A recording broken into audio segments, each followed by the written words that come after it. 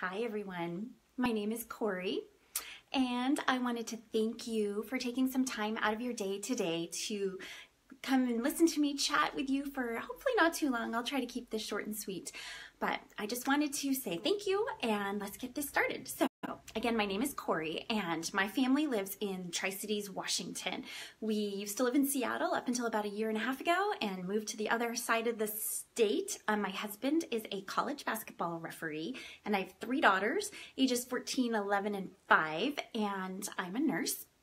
And for me, choosing to start um, paying attention to the chemicals that, and the toxins that I was bringing into my home was kind of a bit of a process. It did not happen overnight for me, and it really wasn't until after the birth of my youngest daughter that I even like cared or that I even realized that maybe I should care. And after the birth of our youngest, who has some um, medical conditions, I really became more mama bear concerned than I was prior to having her. And I know all of us moms, we always want to protect our children and do the best for our children. And I thought I was until I realized that I had a whole lot to learn. So after the birth of our youngest, I um, I just started opening my eyes to um, the foods that we were eating, the amount of sugar that we were putting into our bodies, and the chemicals that I was using in my whole home. Now, I used to be a pretty avid coupon clipper. Any of you coupon clippers? I loved getting that Sunday paper, going through all the coupons, looking at the sales, and um, lining up my purchases based on the sales to maximize my shopping experiences to save money. Now, we all know that those things um, that we're getting for free or cheap really are not the safest for us. And actually, maybe we don't all know that because at the time I was doing it, I didn't know. And to be honest with you, I was at a point in my life where probably if somebody had told me, oh, you really shouldn't be using that, I probably wouldn't have paid attention because it was more important to me at that point in my life to save money than it was to pay attention to what I was exposing my family to. So, our generation today has serious problems when it comes to the toxins that we are exposed to. Food is different than it was when our parents and our grandparents were our age. Um, there's GMOs and pesticides. So many toxic chemicals are lurking in our personal care products, the products that we're choosing to clean our homes with, what we're putting in our bodies, on our skin, and choosing to breathe in our air all has serious, significant health consequences that um, we honestly don't even know all of the results for. What we do know is that there are so many instances of cancer these days. Um, the American Cancer Society has statistics that say only 5 to 10% of cancer cases are, are genetic. So that would mean the other 5 to 10% of cancer is relatively within our control. Has to do with the foods we're eating, the level of activity that we are doing or choosing not to do, and what we are choosing to put in and on our bodies and breathe into our lungs. So there are so many things that we can be doing to help ourselves, but instead we tend not to because it's either more convenient not to, or maybe we just don't know, or maybe we just haven't started to care yet. Did you know that in the United States there are over 5,500 hospitals? Isn't that crazy? Over 5,500 hospitals. And I'll tell you, it's not because we're a healthy nation. Those hospitals are there because we are sick. There are so many sick people. And um, for those of you who know me, um, the 15 years that I've been a nurse have been focused primarily on um, taking care of moms and babies during um, labor and after they, they deliver. So I've been a labor and delivery nurse. And just recently, I started a new job in addition to being a labor and delivery nurse. And I am now taking care of patients in their homes. I'm a visiting nurse for um, retired Department of Labor workers, and it's just really opened my eyes to what our elderly population is dealing with as far as the medications that they um, they are taking. Did you realize? I don't know.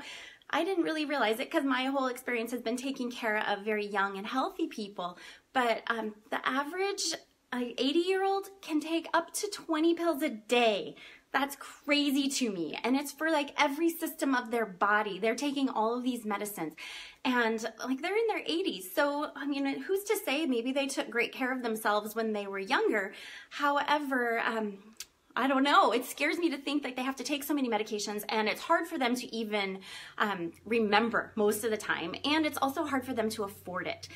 So my eyes are just wide opened that if they were living in a time where they weren't exposed to as many toxins as far as like cleaning supplies and personal care products as we are today, what's our trajectory going to look like if we're exposed to all of these things now? And then we get into our 80s and our daily pill regimen is like 40 pills. It's crazy to me. So i am kind of on my own personal mission here to keep myself my family as healthy as we possibly can be so that when we are older we don't have to have so many pills to remember to take or have to take them i mean western medicine is there for a certain purpose.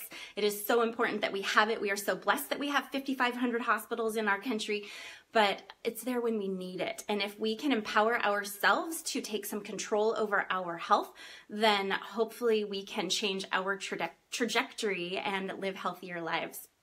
All right, so that kind of goes, let's talk a little bit about some of these toxins. Um, off-gassing is a big deal when it comes to inhaling um, chemicals and toxins. So have you ever noticed when you walk down that grocery store aisle that has all of the cleaning supplies, how fragrant it is? And have you ever stopped to think, why does it smell so strong when nothing is even open? The boxes aren't open, the containers aren't open, and yet all of those chemicals, I don't know about you, when I walk down those aisles, like my eyes start to sting, I get sinus pressure, I get a headache. And I know I'm not the only one because I hear stories all the time of people just cannot stand those aisles. And it just makes you um, wonder if it's so strong in that aisle. Oh my gosh, when you open the product, it's just even crazier. And a lot of the toxins in these products are actually um, endocrine disruptors. Now, endocrine disruptors are hormone disruptors, and we all know if we get a hormone out of whack, then one hormone goes out of whack. It's like a little um, progression here. Everything else gets out of whack too. And a lot of these um, hormone disruptors fall into the category of xenoestrogens or xenoestrogens, and these mimic what estrogen does in our body. Now, these xenoestrogens can be found in parabens, in fragrances, and BPA, so many other things. But the big one is like fragrances because we, um, as consumers, don't know what is in fragrance, the ingredient fragrance. Companies don't have to tell us because it's proprietary information. So anything that has fragrance on it, just be very cautious of that because it is highly likely it has xenoestrogens in it or other hormone disruptors that wreak havoc on our systems. So just being aware of that and steering clear of fragrance. You also have to steer clear of um, products that are labeled as um, unscented because unscented typically means that the company has added a fragrance to it to take the scent away. So it's a neutral scent. So um, things you want to look for in the stores are products that are fragrance free. You want to just avoid the fragrances altogether. Okay, so um, this is just, just be reminded that um, these things that we use, these xenoestrogens that, that disrupt our, our hormone system, that wreak havoc, especially on our estrogen, they can be responsible for early onset puberty in our children, for endometriosis, infertility, and so many cancers. And it's just, we have so many um, people who have been affected by cancer, and the statistics are like all over the board. You can do all kinds of research to see anywhere as like one in four women will have cancer in their life. I've seen even higher statistics than that. Um, it's just absolutely infuriating to think that if we have some control over this, why aren't we exercising that control? Okay, so I've got some notes just in case I forget what I want to say.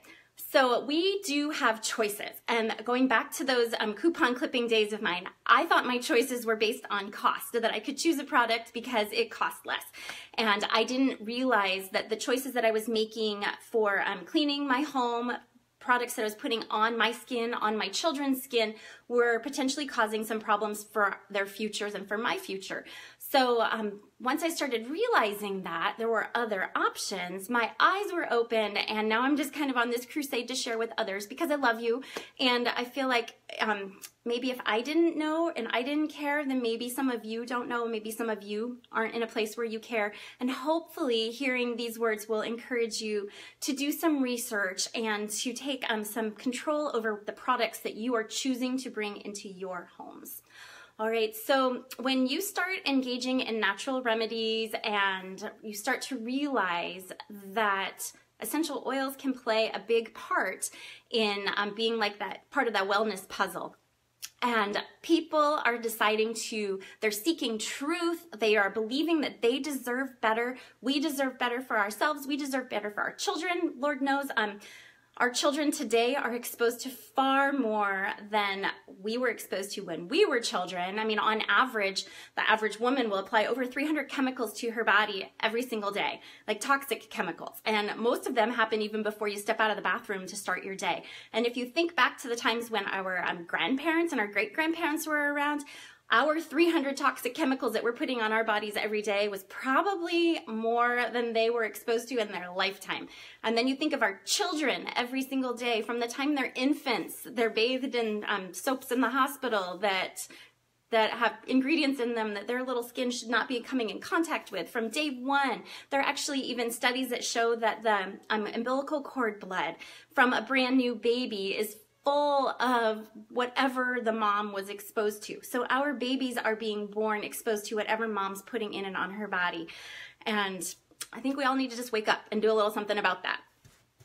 So this is about being empowered. This this is not today about teaching you how to use essential oils that can go on and on. There's so much to know and so many wonderful things you can do with oils. I mean, these cute little bottles are absolutely adorable and they do so many wonderful things.